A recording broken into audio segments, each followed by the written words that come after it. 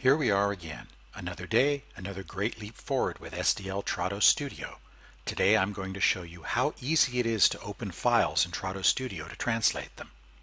To do that, I'm going to navigate to the file that I want to work on today. It's down in my sugar folder. And I will simply right click on the file and go down to the SDL Trados Studio 2009 submenu and select Open Documents. Now why that's documents plural, I don't understand. We're only selecting one document. It automatically launches Trados.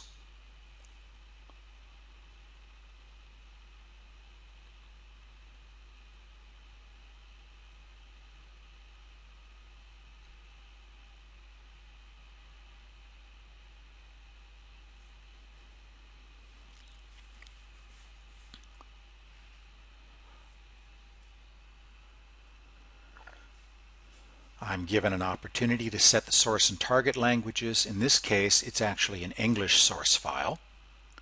So I'll select English United States, and the target language for my translation will be German. And I will use, well, maybe I won't use that.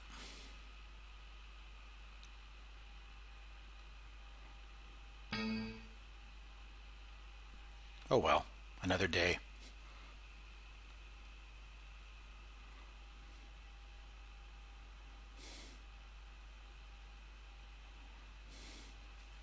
And here we are.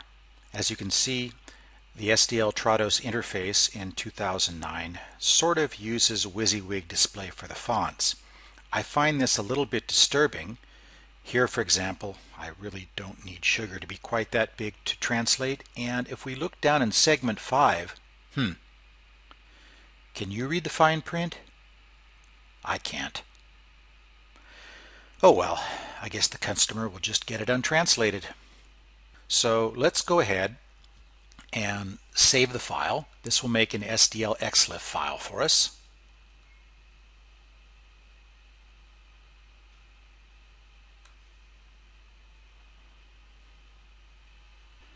And here we see that an SDL XLIFF extension has been added to the tab. And let's go ahead and close the file.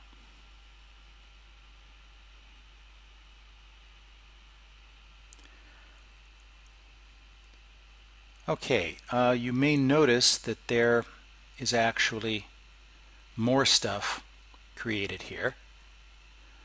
A folder for files in a project and then an SDL project file. Uh, I don't actually want those. All I wanted was the SDL XLIFF. So I'm going to delete those.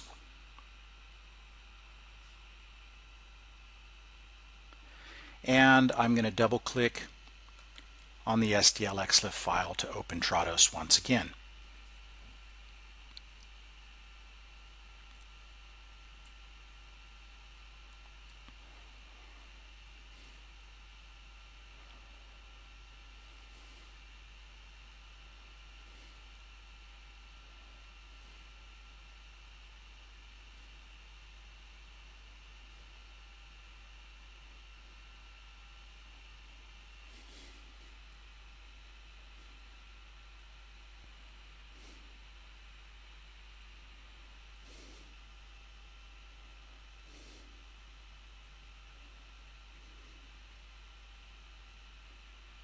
And there we are.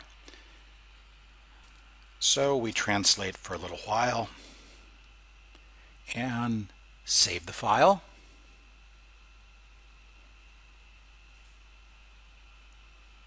And quit once again. Oh dear. And here we have them once again. This extra junk that Trados likes to create and dump in the folder along with your SDLXLIFF file. Hmm. Let's have a quick look and see what this file would look like if I opened it in MemoQ.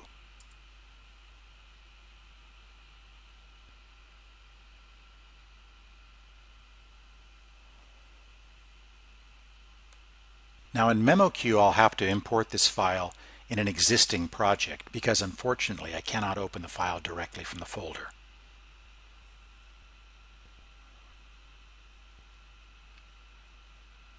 Let's go open my English demo project.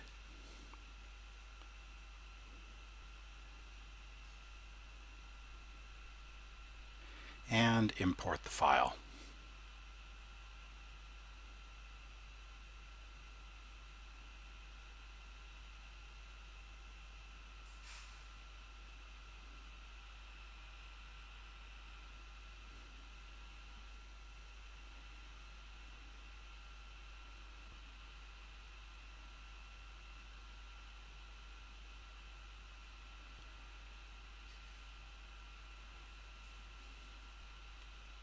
Right, let's open it up.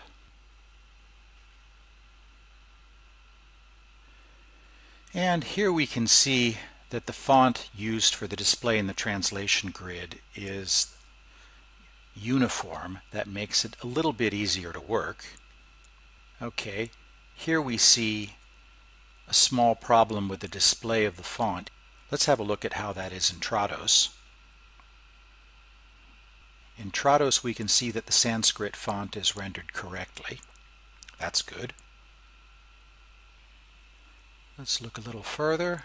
Here's the empirical formula for sucrose. Let's see how that looks in Trados. Right. Well, I'm not sure if that's better or worse.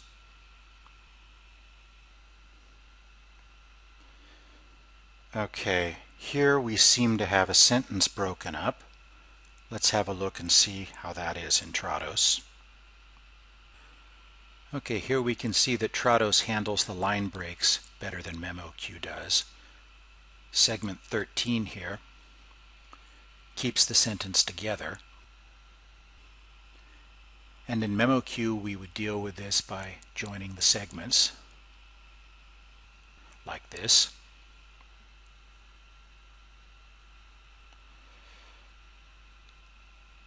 Okay, so now we can see how this PowerPoint file looks in both environments. I do find it useful to have the preview available in MemoQ, although its behavior is sometimes a little bit quirky. Alright, enough play. Now I'll get to work. Oh yes, one more thing. To deal with this display problem with the Sanskrit font, we can go to the Tools menu, to Options, select Appearance, and here we're going to change the font in the translation grid to a Unicode font. Arial Unicode MS for example. Click OK and now we see that the Sanskrit word is displayed correctly.